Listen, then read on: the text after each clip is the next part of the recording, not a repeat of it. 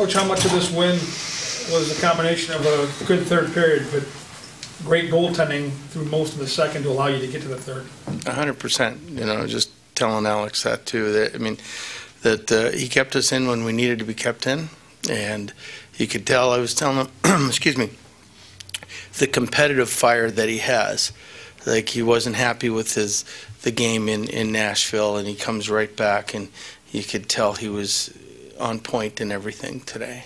Especially because you guys have given up goals in bunches, and right after they scored, they had two, three really good looks on the net before you guys were able to take the lead again. Yeah, no, that was the first thing that was going through my mind. Here they come, and uh, and they had a great chance, and Alex, you know, shut the door at that point, and that was that was a huge a huge play for us. The insurance goals though, then in the third, after Eric's goal, pull away and just kind of bury an opponent. Yeah, and that we haven't done that, you know, and so I mean, I was really happy for the guys that they were able to do that and get the get the third one, you know, right off the bat. I mean, we talked about, you know, they were going to push really hard right off the bat, and if we could meet their push for the first five minutes or so, then I think get and then get into the into the game, um, just the routine of the game, and we'd be fine. But for us scoring that first goal right off the bat, I thought it was uh, it was a real dagger for them. Why uh, the Foligno uh, Hartman pairing? Why whatever center you put on that line, they seem to go? Well, it's it's work.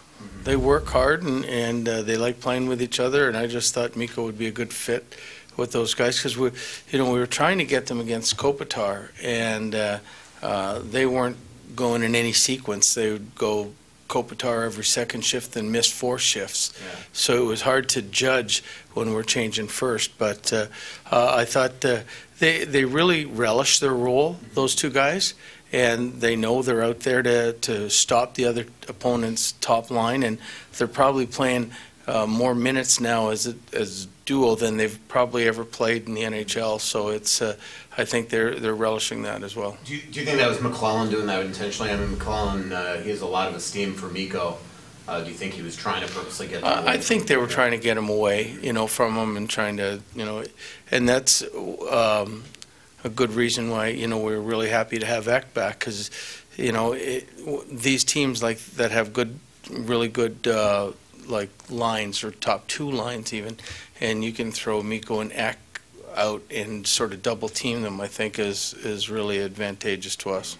After being shut out, just to have so many different contributors, how encouraging was that to see? It's, you know, for a team that hasn't scored a lot, anytime we can get different contributors, then you know that they're gaining a little bit of confidence every day. So, I mean, hopefully that continues uh, to go, and I think every line scored a goal. And, and you've been around me long enough, that's, you like, I'd like to see that balance. Mhm. I don't know if you can petition to get these green jerseys on the road, Bruce, like what can you do that's working at home?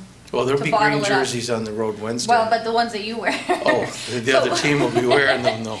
What- Uh, What's translatable that's working here, that you need to do on the road? I, you know, I, I don't know right now. I mean, you know what? The more I looked at it, we played a really good game in Nashville too. I mean, we're just sometimes we're been snake bitten a little bit, and then the first, uh, I thought the first three or four games, you know, we didn't have our, our our gelling or our rhythm yet, but I think we're starting to get there a little bit. And um, this is a team, as long as I've been here, have has been an, a, a good road team. So I think at some point it's going to pick up.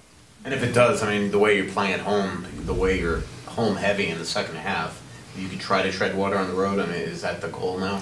You know, I mean, if after 18 we could be nine and nine uh, or better, that would be a real feather in our cap, I think. And then Bruce starting to get a break from, I mean, some of the top competition you guys have faced through those first 10. When you see an opponent who's struggling to take advantage, like you kind of did tonight, maybe you get a few more of those games coming up. Well, you know what? I don't think that way though, because every time you think you got something easy in this league, then all of a sudden they come up and bite you. And, and I looked at the, you know, even though their record was four and six, they hadn't played a team with a losing record either this year. So I mean, uh, it was, uh, uh, you knew it was going to be a tough game. Thanks. Thanks, Okay, thanks. Go home. Yes. Do you like Dan's shirt tonight? Huh? Do you like Dan's I- I shirt? like Dan's shirt, you know, it's- it has that good little pink, pinkish hue.